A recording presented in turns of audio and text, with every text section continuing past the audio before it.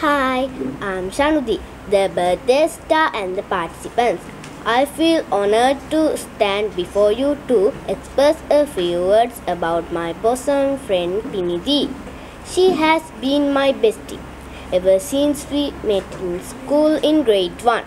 Her sense of understanding and amiable disposition sustain our friendship today.